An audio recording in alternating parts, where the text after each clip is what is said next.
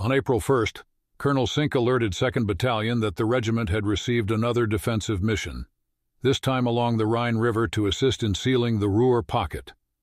Our job was to hold the west bank of the Rhine opposite Dusseldorf and the area south to Worringen, while General Omar Bradley's armies encircled and pinched off the pocket to the east. 2nd Battalion's sector extended from Sturzelberg, on the north to Worringen on our south flank, where we linked up with the 82nd Airborne Division.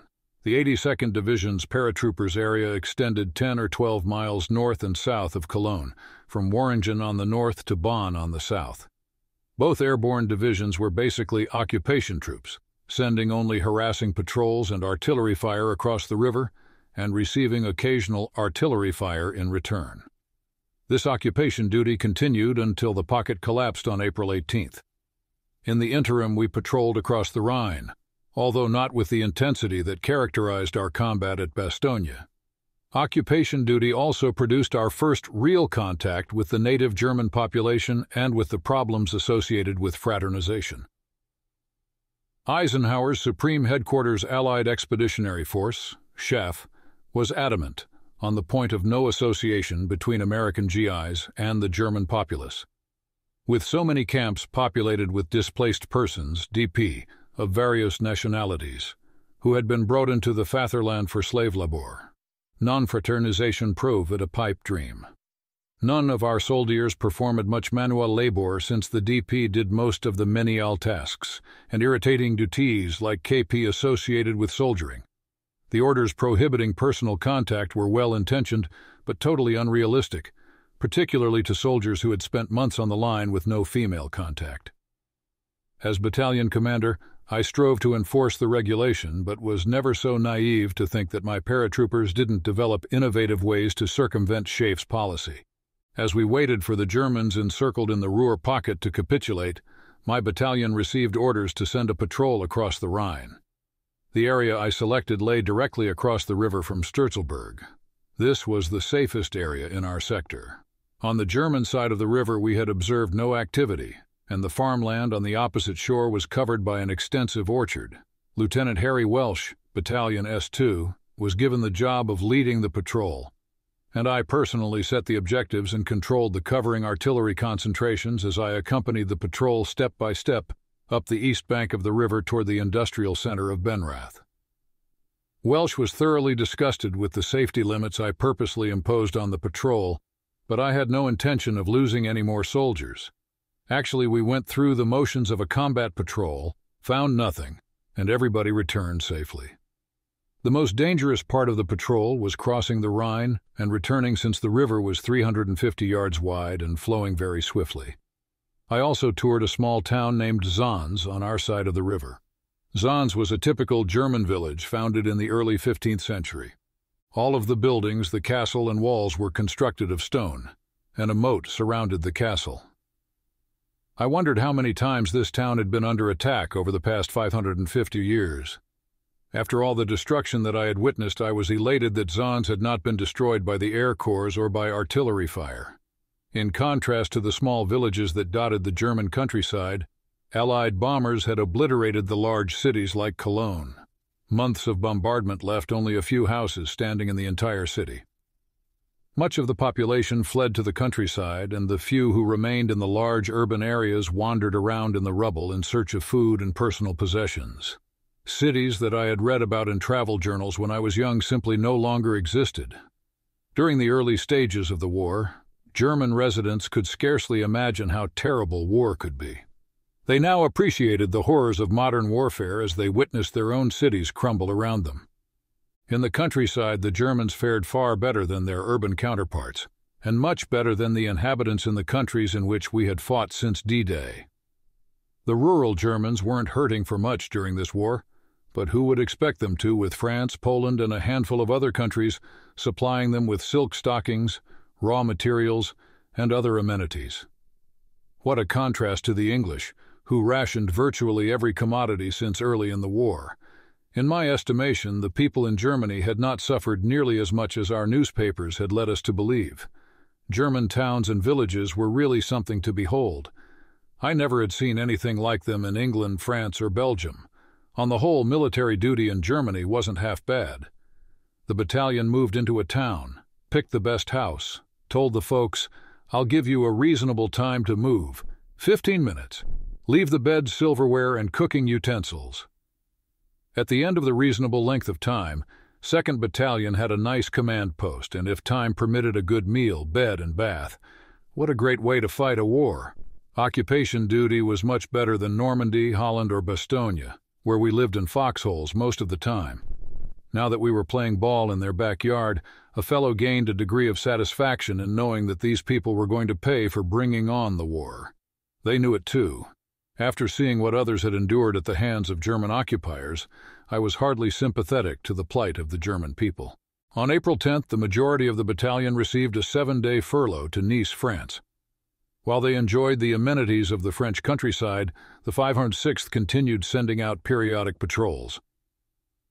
On one of these patrols, Lieutenant Perdue from Fox Company was wounded by a booby trap and was immediately evacuated. That same day, Major William Leach, 506th Regimental S2, led his first combat patrol. In preparation for the patrol, Leach persuaded my friend Sergeant Al Krochka, a photographer from division headquarters, to fly a small Piper Cub over the Rhine for photos of a suspected machine gun emplacement. The plane was hit and Krochka was wounded in the arm by fire from the machine gun. That night, Major Leach and four men attempted to cross the river. Unfortunately, they failed to notify friendly forces that they would be crossing the Rhine. Midstream, Leach and his patrol were fired upon by an American machine gun crew, and all were killed. Their bodies were recovered on April 18th in front of Fox Company's position at Sturzelberg. Leach was a good staff officer who made his way up the ladder of success on the strength of his personality and social expertise. During the crunch times, this Ruhr pocket duty was nothing more than police duty. Leach had never led a patrol. Like Lieutenant Hank Jones at Haguenau, he had not yet earned a battlefield decoration, and like Jones, Major Leach planned to make the Army a career. Jones survived his initial brush with combat and was immediately transferred out of the company, but Leach was not as fortunate. The common feeling after his death was that this was a foolish patrol, and that Leach was on an ego trip, trying to earn a stupid decoration. In the process, he got his entire patrol killed. Six days later, German resistance in the Ruhr pocket came to an end when 325,000 German soldiers surrendered on April 18th. This was the largest bag of enemy prisoners in the war to date. By mid-April, the war in Western Europe neared a rapid conclusion. Even the Germans realized that the war was over. They battled on only because they were professional soldiers. As we prepared for the final push, the battalion received word that President Roosevelt had died on April 12th. Roosevelt was more than a fixture in our lives. He was the only president most of us could remember. Every American soldier in the U.S. Army held the Commander-in-Chief in utmost respect. Few were familiar with his successor, Harry S. Truman, but none doubted that the new president would see the war to a successful conclusion. By General Eisenhower's orders, each command conducted a simple memorial service for our fallen Commander-in-Chief. In the interim, 2nd Battalion received badly needed supplies. April 19th marked an important day as each paratrooper received a new pair of socks, three bottles of Coca-Cola, and two bottles of beer. Life now was a far cry from what the men had experienced at Bastogne and Haguenau. For the most part, the farther that we traveled into Germany, the better we lived. One trooper noted that for the past month he had never eaten better, kept cleaner, or slept in more comfortable beds than at any other time in the 20 months that he had been overseas. Rations also improved. Instead of eating K rations, the men enjoyed fresh eggs for breakfast six days in a row. Staff Sergeant Robert Smith joked that if living conditions continued like this for the remainder of the war, he might sign up to be a 30-year man. On careful reflection, he then wrote, What am I saying? Someone must have jabbed a morphine needle in me. Three days later, the entire 101st Airborne Division was en route to Bavaria as Allied headquarters attached the division to Lieutenant General Alexander Patch's 7th U.S. Army in southern Germany in its advance to secure Hitler's Alpine redoubt. Whether Hitler ever intended to fortify the Bavarian Alps was anyone's guess, but Eisenhower wasn't taking any chances. We left our defensive positions along the Rhine and boarded 40X8, cars designed to carry either 40 men or 8 horses, railroad cars. Supply also issued 5K rations per man. Due to the conditions of the German railroad system at the time, the rail convoy trip of 145 miles traversed four countries Holland, Belgium, Luxembourg, and France to reach Wieden, Germany. On April 25th, we switched modes of transportation and climbed aboard big amphibious vehicles called Duckers, D, 1942, U, amphibian, K, all-wheel drive, W, dual rear axles, to carry us to the vicinity of Miesbach southeast of Munich. We traveled through the German countryside, continuing our journey through Mannheim and Heidelberg until we reached Ulm. At Ulm, astride the Danube River, we stopped to gas the DKWs and then proceeded to Buchloe, which lay at the foothills of the Bavarian Alps. There we halted for the night because once again the convoy was low on fuel. Our standard operating procedure was to dispatch reconnaissance patrols whenever we halted.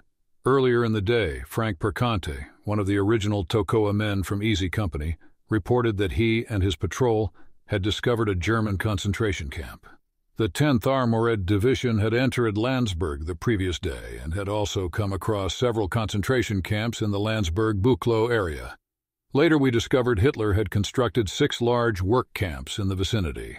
By now the men and I were seasoned combat veterans, but the sights we witnessed when we arrived at the camp defied description. The horror of what we observed remains with each paratrooper to this day. You could not explain it, you could not describe it, and you could not exaggerate it. It did not take long to realize that the Nazis were intent on eliminating all the Jews, gypsies, and anyone who disagreed with Hitler's regime. The memory of starved, dacid men who dropped their ease and heeds when we looked at them through the chain link fence, in the same manner that a beaten, mistreated dog would cringy, left a mark on all of us forever. Nor could you underestimate the barbarity of the Nazi regime, even during the latter stages of the war. I immediately directed Nixon to take all the local inhabitants to clean up the camp, including the crematorium and the burial pits. As I went through the war, it was natural to ask myself, why am I here? Why am I putting up with the freezing cold, the constant rain, and the loss of so many comrades? Does anybody care? A soldier faces death on a daily basis, and his life is one of misery and deprivation. He is cold. He suffers from hunger, frequently bordering on starvation. The impact of seeing those people behind that fence left me saying, if only to myself, now I know why I am here. For the first time, I understand what this war is all about. That night, I selected a large home in Buchloe for my battalion headquarters. In the cellar and in the adjoining buildings, we discovered stacks and stacks of huge wheels of cheese. I did not know if the Germans had a factory in the village or not, but I knew what had to be done. We immediately distributed cheese to the internees at the camp and to our troops. I then radioed our problem of the concentration camp to regiment and requested help. Within hours, Major Lewis Kent, the brigade medical officer, arrived and cautioned us against overfeeding the former inmates. Under his supervision, we halted the distribution of the cheese because the ingestion of so many calories would have produced a detrimental effect on the emaciated prisoners. A more difficult task was forcing the liberated internees to return to the camp so that medical personnel could care for them. In spite of the horror associated with our initial contact with the Holocaust, it is difficult to exaggerate the natural beauty of the Bavarian countryside. Spring flowers covered verdant fields, watered by crystal clear mountain brooks. One Easy Company trooper, Staff Sergeant Robert T. Smith, couldn't believe that he had ever seen countryside so nice to look at as here in Germany, since they prohibit the lining of the roadways with signboards and such. When we ride down a highway, you can take in all the scenery, instead of having to read all about Burma shave. The most beautiful region in Germany heralded the coming spring. It was an enchanting time, watching Hitler's Third Reich crumble before our eyes. Munich fell to the Seventh Army on April 30th, prompting congratulations from SHAEF for the destruction of the cradle of the Nazi beast. The 101st Airborne Division, however, sought a bigger prize the capture of Hitler's Alpine retreat of Berchtesgaden. On May 3rd, 2nd Battalion was located at Thalheim, Germany. The past few days had been spent moving through streams of German soldiers who were slowly walking toward Munich, or just lying along the sides of the Autobahn. Once in a while we encountered scattered rifle shots, a token resistance by a dying regime. At other times there were more German soldiers with weapons marching north than there were 506th paratroopers heading south. Literally thousands of Germans choked the Autobahns as we raced into Bavaria. American and German soldiers exchanged glances with great curiosity. I am sure both armies shared one thought. Just let me alone. All I want is to get this war over and go home. That night we received the word that at 0930 the next morning we would be moving out to seize Berchtesgaden. Regiment directed us to draw additional ammo and rations. Bright and early on May 4th, the convoy started down the German Autobahn toward Salzburg. We passed Rosenheim and the Chiemsee to Siegsdorf, a distance of 40 miles from Thalheim. At Siegsdorf, we turned right on Route 30, the direct route to Berchtesgaden. About eight miles down the road, we ran into the stalled French 2nd Armored Division under General Jacques-Philippe de Leclerc. This outfit had supposedly been on our right flank for the past week, but we had not been able to maintain contact with them. They had been there, and then they would disappear. We had a gut feeling that they were looting their way through Germany, but we had no proof. Here the convoy halted because the Germans had destroyed another bridge over a deep ravine. Moreover, the enemy covered that blown-out bridge and the ravine from the sides of the mountains with plunging fire from their machine guns. Under these circumstances, Colonel Sink could not move the regiment's bridging equipment into position. Up front, the French exchanged long-distance fire with the Germans, but since the enemy was out of range of the machine guns, nobody was hurt on either side. The 101st had been briefed on the new 57 mm and 75 mm recoilless rifles while we were back in Mourmelon. While at Thalheim, we were issued four 75 mm recoil-less rifles. This morning, 2nd Battalion had our first opportunity to employ them on a long-range target. While this firing was going on, the French 2nd Armored Division and the 506th PR headquarters staffs assembled in one group and enjoyed a rare meeting under combat conditions where there was no pressure. It was a festive mood, a time for international fellowship. Before too long, I grew bored with this party, and I approached Colonel Sink to request permission to dispatch a platoon to outflank the German roadblock. His answer was correct for this stage of the war. No, I don't want anybody to get hurt. Later, he reconsidered and ordered me.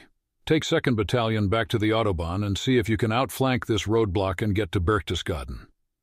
We immediately backtracked to the highway and went down to Bad Reichenhall, only to be halted by another blown bridge.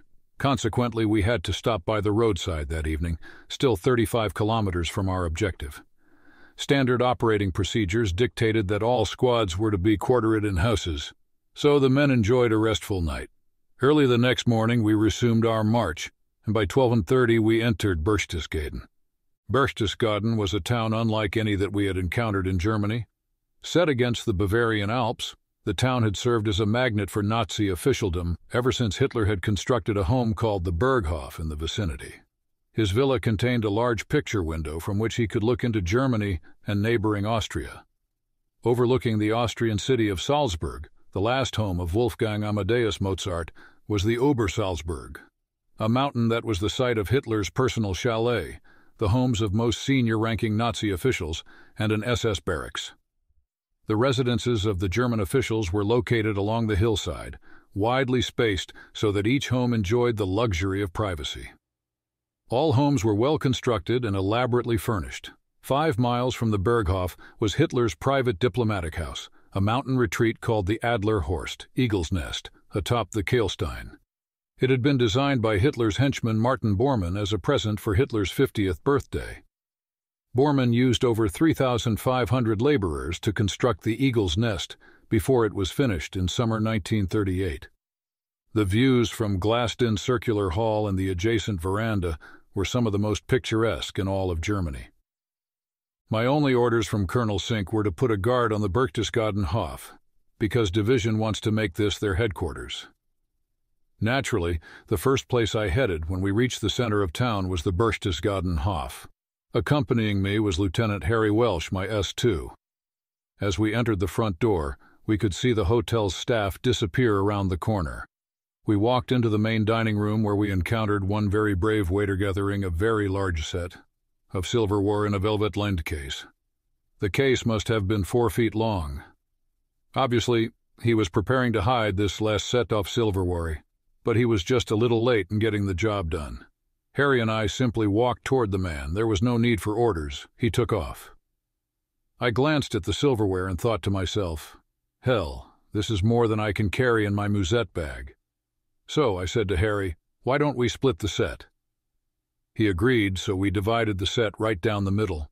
Today we are both still using the silverware from the Berchtesgaden Hof in our homes. I then placed a double guard on the Berchtesgaden Hof to prevent further looting. When regiment and division headquarters arrived, they finished the job, looting everything of value that remained. What a fool I had been not to complete the job with 2nd Battalion. I also placed additional guards on various strategic points around the town at the ammunition dump, the railroad tunnel, the POW enclosure, and Hermann Goering's house. We moved into Berchtesgaden so fast and had taken over the hotel, the key buildings, and the homes for billeting so quickly that if there were any serious problems or resistance from the German soldiers or civilians, I was not aware of them. Now that we were in Der Fuhrer's backyard, we simply seized what we wanted. I selected a private home on the outskirts of Berchtesgaden for my battalion headquarters. The surrounding homes were taken over by the companies, one home per platoon. Seizing German property was a simple matter. Take, for example, the house that served as my battalion command post. I told Lieutenant Cowing, my logistics officer, that I wanted this particular house as my CP. Tell the people they have 15 minutes to move out. Cowing was a replacement officer who had joined us at Haguenau. He was a very nice, polite, and efficient officer who had never been hardened by battle. In a few minutes he returned to report, the people said no, they will not move out. Follow me, I said. I went to the front door, followed by the rest of the battalion staff. I knocked, and when the lady answered, I simply announced, We are moving in now. We did, and the family disappeared. Where they went, I don't know, but there was no further problem. Did I feel guilty about this? Did my conscience bother me about taking over this beautiful home? No. We had been living in foxholes in Normandy, we had been in the mud at Holland, and we had suffered in the freezing cold at Bastogne. Just a few days earlier, I had seen a concentration camp not 100 miles from here. These people were the reason for all this suffering. I felt no sympathy for their problems. I did not feel that I owed them an explanation. This is about the way I think it went as each of the platoons took over a home and got themselves settled throughout the community. Billeting the troops, no problem whatsoever. How did the troops react to the liberation of Berchtesgaden? You could see the smiles on their faces. They simply enjoyed themselves. They were at peace with the world. There was no breakdown in organization. We maintained our guards on the key points in order to protect vital installations. Mostly, the 506th PIR relaxed and simply enjoyed a little sightseeing. We confiscated a wide assortment of German cars, and we seized a lot of German army trucks. We were in total control of the situation and of ourselves. While conducting a private reconnaissance on May 6th, I found my way to Goering's private compound, including a set of officers' quarters and club. It was rather foolish to be walking around, exploring by myself, at this stage of the game, but I felt no danger. I found a dead German general in full dress uniform in Goering's private quarters. In his hand was a Luger. He had committed suicide putting a bullet through his head. Later, I learned that corpse was General Kastner, just as I exited the dining room of the officers' club, I noticed another door in the corner of the room. Somewhat apprehensively, I walked down a stone staircase, which led to a darkened basement. Lord, I had never seen anything like it before, and this high room, about fifty feet long and thirty feet wide, contained rack upon rack of liqueur, wines, champagne, all the way to the ten-foot high ceiling. Brand names covered virtually every wine-producing region in the world. A conservative estimate was that the wine cellar housed nearly 10,000 bottles of the world's finest liquor. I deemed it prudent to put a double guard on the officers' club, especially the wine cellar. Captain Nixon was always my finest combat officer. My only problem with Nixon was keeping him sober. That afternoon I told him, Nix, you sober up and I'll show you something you have never seen before in your life. Then I promptly forgot about the wine cellar, there were too many other important points and places to cover. It was obvious that the excessive drinking could get out of hand, so I issued an order. everybody on the wagon for seven days. Now, I was no fool, and I didn't expect an order like that to be carried out 100%. But the message was clear keep the situation under control. I didn't want a drunken brawl. The following morning, a sober Nixon approached me and asked, What was that you said yesterday that you were going to show me? Follow me, I responded. We then took a jeep and drove directly to Goering's officers' club. Nixon thought that he had died and gone to heaven. I told him, This is yours. Take what you want, then have each company and battalion headquarters bring around a truck and take a truckload. You are in charge. I have a picture of Nixon with his stash of liquor next to his bed as he awoke on VE Day as proof that he did a good job in distributing the liquor, but only after he collected his personal spoils of war. Private David Kenyon Webster penned a different account of Goering's wine cellar. Webster was shocked to find that Hitler's champagne in the cellar was new and mediocre. No Napoleon brandy, no fine liqueurs. Webster was a Harvard man, a self styled connoisseur of liquors. So was Nixon, who prided himself on being a Yale man. Before Webster reached the wine cellar, Nixon had already absconded with his personal booty and supervised the distribution of five truckloads for the troops. Once the troops had their share of the liquor, Nixon lifted the guards. On this occasion, the Yale man pulled rank on the Harvard boy. Small wonder that Webster was disappointed in what remained. Nixon would have been first to attest that in the Army rank still had its privileges. Another of my favorite memories of Berchtesgaden is that of First Sergeant Floyd Talbert on the hood of one of Hitler's staff cars, a Mercedes Benz. The men found eight or nine of those cars around Berchtesgaden. I know that Captain Speirs commandeered one, the windows were supposed to be bulletproof. When we received orders on VE Day that we were to leave for Zell C, SINK's headquarters issued orders that we must leave the cars behind for 101st Airborne Division senior officers. Until that time, nobody in headquarters had the nerve to commandeer the cars from the men who had found them. From what I understand, that last day some of the cars ran off cliffs. Nobody was injured, for no one was in the cars at the time of the accidents. Talbert later reported to me that the windows on the cars really were bulletproof, but if you used armor piercing ammunition, that would get the job done.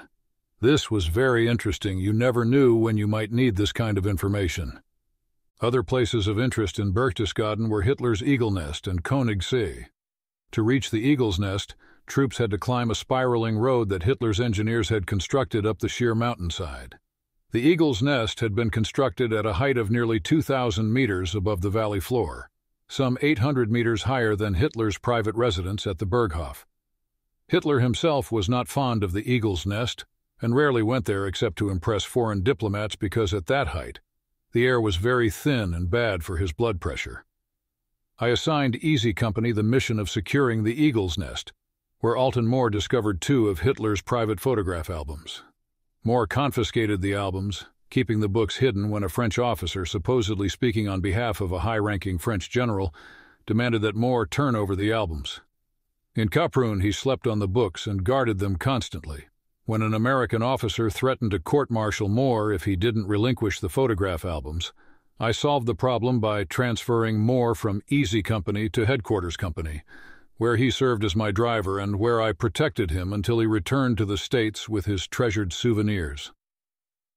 After the war, Alton Moore died tragically in a 1958 automobile accident. Berchtesgaden remained full of surprises. In addition to the chalets around the Königssee, Nixon and I came across a group of German civilians guarding several railroad cars. They were a pathetic looking group but something about that scene told us to use common sense and leave them alone. We understood later that the cars contained a cache of artwork, which was later taken over by Division.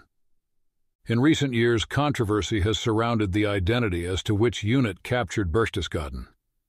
Was it the French 2nd Armored Division, the 7th Infantry Regiment's Cottonbalers of the U.S. 3rd Infantry Division, or SINK's paratroopers from the 506th Pier Major General John W. Iron Mike. O'Daniel's 3rd Infantry Division certainly seized neighboring Salzburg without opposition and may have had their lead elements enter Berchtesgaden before we arrived in force, but let the facts speak for themselves. If the 3rd Division was first into Berchtesgaden, where did they go? Berchtesgaden is a relatively small community. When I walked into the Berchtesgaden Hof with Lieutenant Welsh, neither of us saw anyone except the hotel staff. Goering's Officers' Club and wine cellar certainly would have drawn the attention of a Frenchman from Leclerc's 2nd Armored Division or a rifleman from the 3rd Division. I find it inconceivable to imagine that if the 3rd Division were there first, they left those beautiful Mercedes staff cars untouched for our men. Regimental and divisional histories provide contradictory accounts. In Rendezvous with Destiny, the 101st Airborne Division's official history, the 506th PIR are latecomers. But I assure you, members of 2nd Battalion have different memories and photographs to prove that we didn't do too badly in getting our share of the loot at Berchtesgaden during the final days of the European War. World War II ended about as gloriously as I had ever hoped. Berchtesgaden was really the heart of Germany, not Berlin, and it was quite an honor to be in on the final drama. Reich Marshal Goering, Field Marshal Albert Kesselring, generals by the dozen and Germans by the thousands hurried to surrender and escape capture by the Russians. I had never seen anything like it, nor could I have imagined it. The enemy was backed up right into the mountains with no place to go. Then they threw in the towel and started coming out of the hills. Days before the final surrender, everyone knew it was over.